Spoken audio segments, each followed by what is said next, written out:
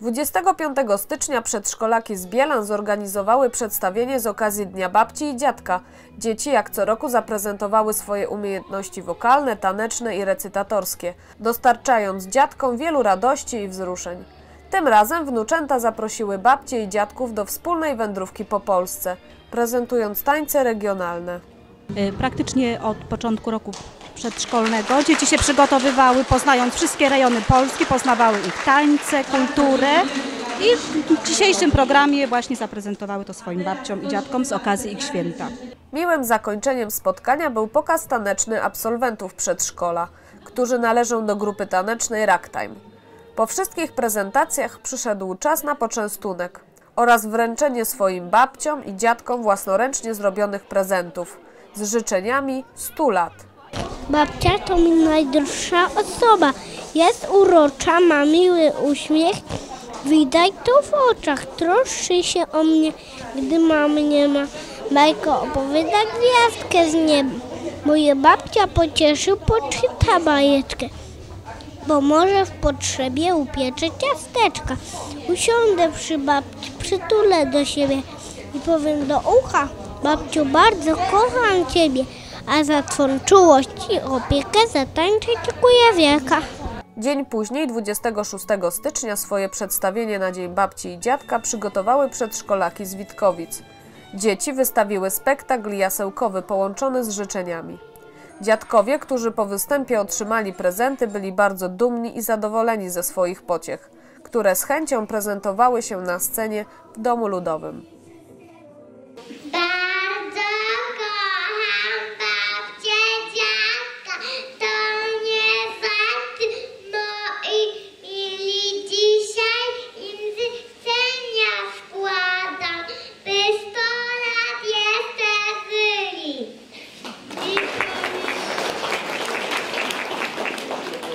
Gdy pomyślę o słodicach, to babcia zaraz mi upiesę.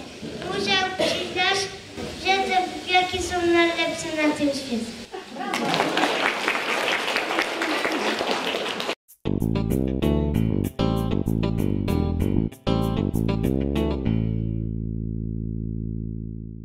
26 stycznia dyrektor powiatowego zespołu nr 9 imienia Marii Dąbrowskiej w Kętach zorganizowała konferencję e-twinning prowadzoną przez przedstawicieli Polskiego Biura Programu.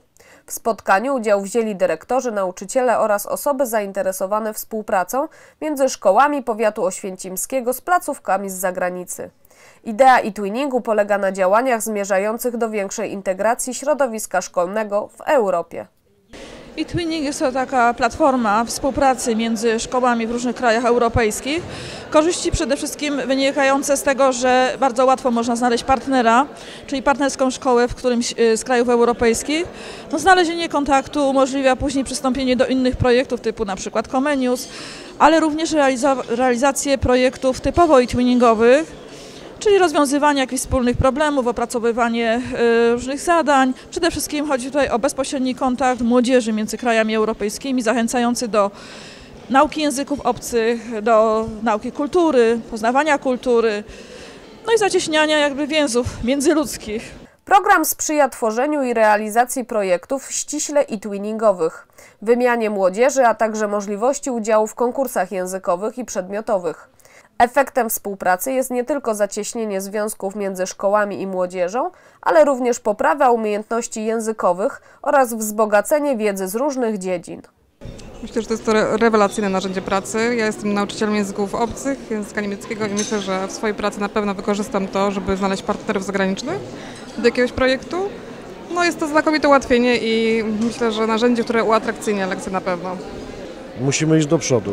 Jak już jesteśmy w Europie, to te rzeczy są bardzo ważne i przede wszystkim atrakcyjne uczniów, dla uczniów. My w szkole mamy takie już nowoczesne metody, na przykład platformę edukacyjną, czy z dziećmi robi się koło multimedialne i to jest takie no, chwalenie się tym też innym krajom, które są w Europie, a po drugie no, wymiana, wymiana doświadczeń z innymi nauczycielami. Kiedyś nie było takich możliwości, teraz możemy i tylko się cieszyć. Bardzo dobry pomysł. Oprócz omówienia programu e-twinning, uczestnicy mieli okazję zarejestrować się w tym systemie podczas szkolenia, które odbyło się po konferencji.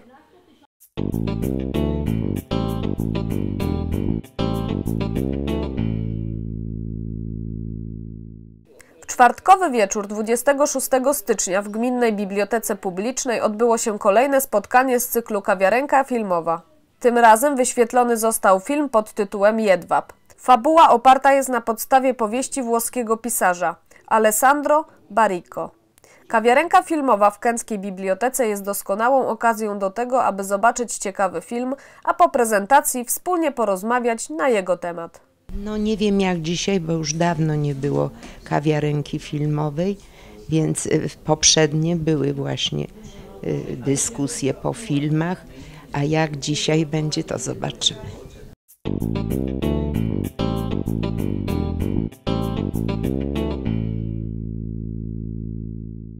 27 stycznia 1945 roku został wyzwolony obóz koncentracyjny Auschwitz-Birkenau, symbol najstraszliwszej zbrodni na ludzkości, popełnionej przez Hitlera.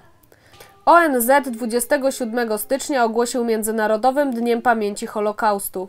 Jak co roku uczniowie ze szkoły na Podlesiu wystawili spektakl o tych tragicznych wydarzeniach. To bardzo ważny temat. Myślę, że dzięki e, mówieniu o Holokaustu można e, dzieci młodzież bardzo wiele nauczyć. E, bardzo staramy się, aby tutaj promować postawę tolerancji. E, I wynika to również z takich osobistych zainteresowań niektórych nauczycieli, tak jak na przykład moich czy pani Siwiec właśnie. Tegoroczny występ ukazywał śmierć półtora miliona dzieci, które zginęły tylko dlatego, że były Żydami. O tych dzieciach właśnie, o tych, żeby pokazać jak oni zginęli, że nie wszyscy wiedzą jak cierpieli ci ludzie, że możemy sobie czegoś czasem odpuścić, żeby właśnie sobie, właśnie w ten dzień możemy odpuścić sobie wygody, żeby jednak upamiętnić ten dzień. Szkoła na Podlesiu stawia bardzo wysoko sprawy historii i tolerancji. Dba o to, by uczniowie wiedzieli, że liczy się życie każdego człowieka i nie można nikogo poniżać czy zabijać ze względu na pochodzenie, kolor skóry czy wiarę.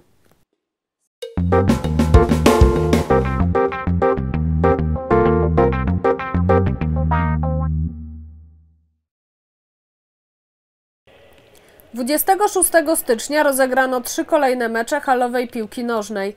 Pierwszy mecz zakończył się wygraną FC Ciepluchów nad Old School Kenty 7 do 2. Drugie spotkanie zakończyło się wynikiem 6 do 5.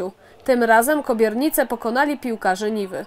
Ostatni mecz tego wieczoru wygrała drużyna chłopaków z Ośki, strzelając 6 bramek Bayernowi.